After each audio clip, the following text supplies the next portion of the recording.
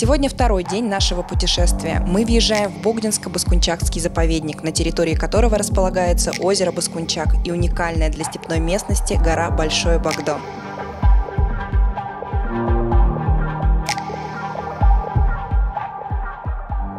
Слева – Казахстан, справа – космический полигон Капустин-Яр, а впереди – около 200 километров по бездорожью.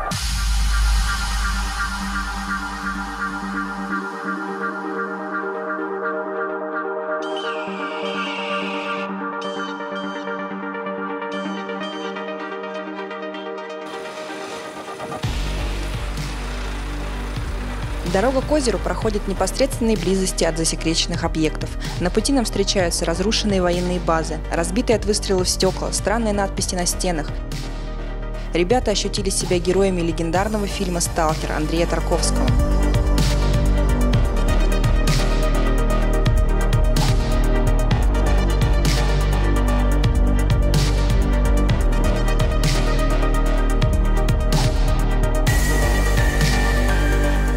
Долго здесь задерживаться опасно. Все-таки полигон и испытания даже в выходной день никто не отменял.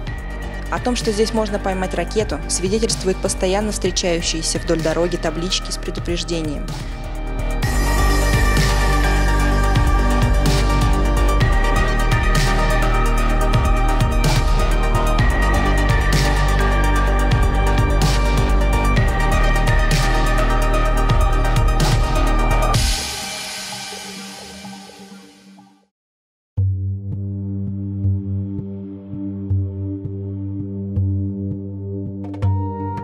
На озеро мы прибыли после обеда. В поселке Нижний Баскунчак нас уже ждали сотрудники природного парка. Только с их сопровождением нас согласились пустить на озеро. Для обычных туристов путь сюда закрыт.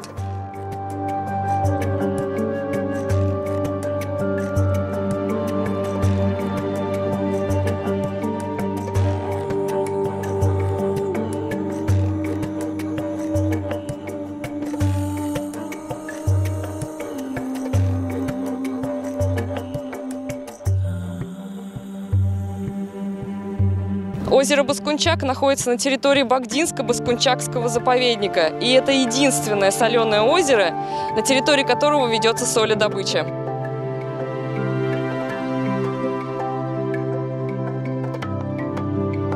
Соль здесь перерабатывается и отправляется в путь по всем городам России.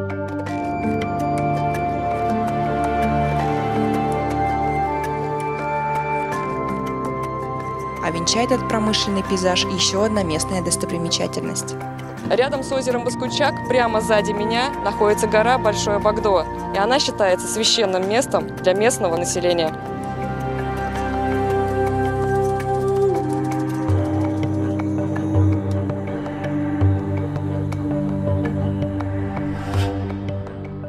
Баскунчак сильно отличается от всех увиденных озер. Здесь можно купаться, а местная соль тверже камня, поэтому по территории озера можно безопасно передвигаться на автомобиле. Покидая Баскунчак, мы жалели, что не увидели всех красот озера.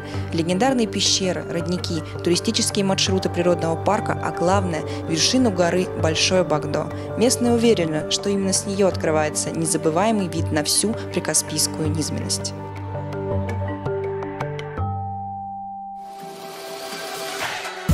Мы советуем всем повторить наше путешествие. Озера оставляют в душе неизгладимый отпечаток. Мы прошли их все и остались в восторге.